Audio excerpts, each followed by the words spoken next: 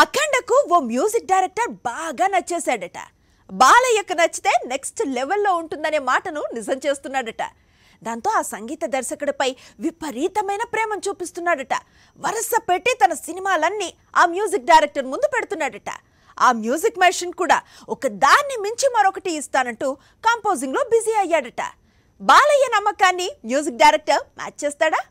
టాలీవుడ్లో Thaman music magic చేస్తోంది. సినిమాను ఆర్ఆర్తో నెక్స్ట్ లెవెల్కు తీసుకెళ్తున్నాడు. బాలయ్య అఖండ విషయంలో కూడా అదే చేశాడు.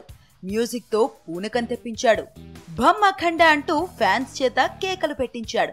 థియేటర్లో ప్రేక్షకుల అరుపులకు బాక్స్ ఆఫీస్ షేక్ అయింది. బాలయ్య మైండ్ బ్లాక్ అయింది. అఖండ రికార్డింగ్కు పాటలకు ఫ్లాట్ అయిన నటసింహ తమన్ను తన తన ఫేవరెట్స్ లిస్ట్లో చేర్చుకున్నాడు. అఖండ మానియాను సస్టైన్ చేయడానికి ఎన్బికే వన్ నాట్ సెవెన్కు తమన్నే మ్యూజిక్ డైరెక్టర్గా ఫిక్స్ చేసుకున్నాడు. గోపిచంద్ మలినేని కూడా అఖండను మించి మ్యూజిక్ అందించే పనిలో ఉన్నాడు.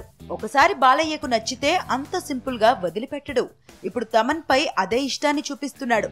మ్యూజిక్ మెషిన్ తమన్కు హ్యాట్రిక్ ఛాన్స్లు ఇచ్చాడు అనిల్ రావిపూడి డైరెక్ట్ చేస్తున్న NBK one nought eight movie music Thaman చేతుల్లో పెట్టాడు బాలయ్య. అఖండ బూస్టప్కు తమన్ బాలకృష్ణ మ్యూజిక్ డైరెక్టర్గా మారిపోయాడు. ఈ మధ్యకాలంలో టాలీవుడ్ అంతా తమన్ గురించే మాట్లాడుకుంటున్నారు. సూపర్ హిట్ ఆల్బమ్స్తో పాటు బ్యాక్గ్రౌండ్ స్కోర్తో మైండ్ బ్లాక్ చేస్తున్నాడు.